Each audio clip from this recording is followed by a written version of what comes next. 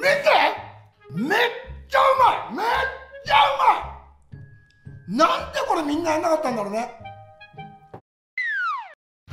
勝俣かっチャンネルどうも勝俣邦和です。元気ですか？美味しいもの食べてますか？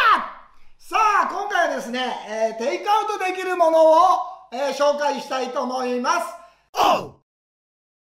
それは何かと尋ねたらそれはおむすびです。ねえおむすび嫌いな人いませんもんね。で今回、えー、紹介するのはなんと築地。築地の場外市場にある丸豊さんというおにぎり屋さんなんですね。朝5時,、ま、5時からやってますから平日は。朝5時からやってますからもう何時に行ってもやってますからまあじゃあ物を見せましょう。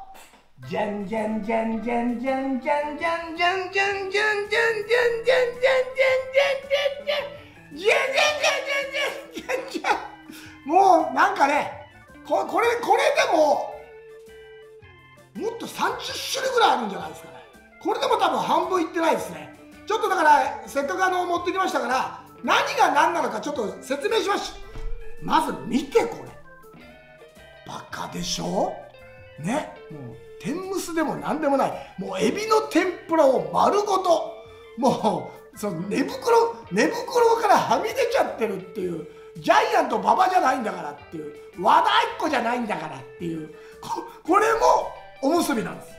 でですねこういうだからあとね具で面白いのはほらうなぎなんかもあるんですね。うなぎでこれ見てください。これね親子。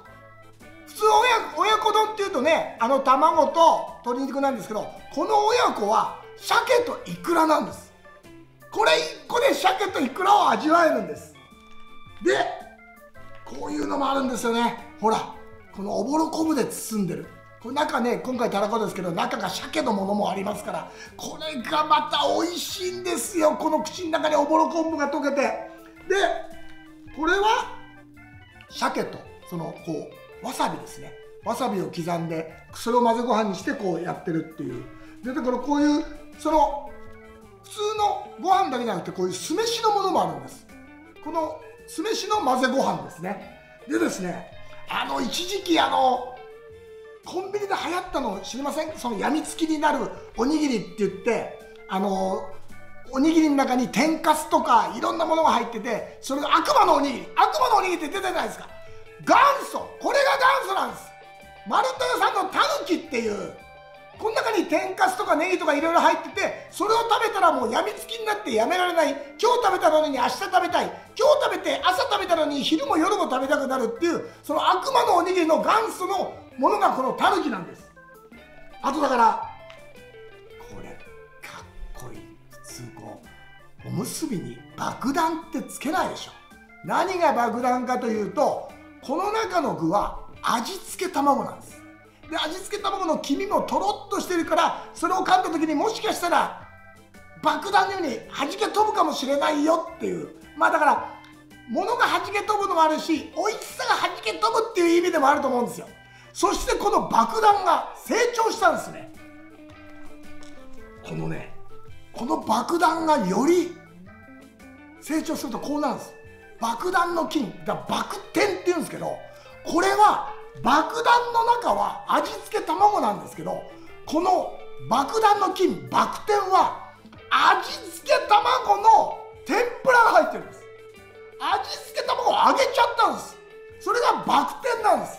僕の中ではこれが今一番人気ですね。ちょっとこれ食べてみましょうか。食べてみるっていうかね中身を見せたいんだよね。ただこの丸豊さんのおにぎりの唯一の欠点はでかすぎるんですよ。でかすぎるから一口目で具にいかないの。一口目そのおにぎりで具と一緒のご飯を食べるから美味しいんだけど具までたどり着かない。けどねちょっと頑張ったらそのバク転のねその味付けた卵の天ぷらまで行くように頑張りますよ。さあラップがきつい。まあしょうがないですね。これちゃんと衛生上ですから。うわいいね。いいでしょ？ほら本当お山でしょ？神様がこういるっていう。これだからちょっと今食べますから中に入ってるその味付け卵の天ぷらがこう見えるようにしますから。ね？一口目でたどり着かないのこれが中にほらこう入ってるんですよ。味付け卵の天ぷら。これがこれをだから食べると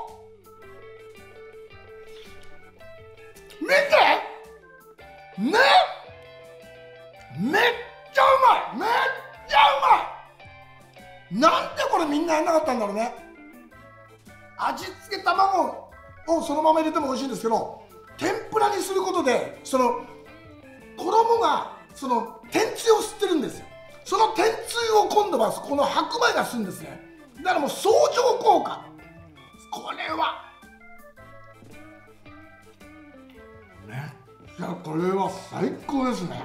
素晴らしい。ぜひね、えー、好きな人とのあの例えばドライブとかの前でもいいですしドライブその5時からやってますからドライブ前に寄ってどっか遠出するのも OK ですからぜひこの丸豊さんのおにぎりがあればドライブとか公園デート絶対楽しくなりますからあなたの笑顔のすぐ近くに丸豊さんがいる。